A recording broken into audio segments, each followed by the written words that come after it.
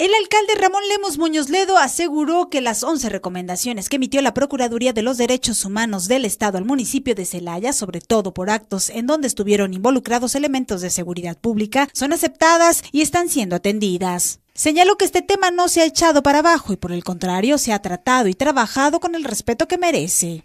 Están en, revisión para darles la adecuada atención. ¿Cuánto tiempo no tiene caducidad? O sea, no hay una fecha. No hay una fecha límite, pero sí les van a... Sí, desde luego que sí. Insistió en que aquellas recomendaciones en donde de manera directa involucran a policías que cometieron un agravio en contra de algún ciudadano, incluso de otras administraciones, también se tocan al interior de la Secretaría de Seguridad y son analizadas. Sí, claro, está analizándose y se responderá de acuerdo a lo, que corresponda.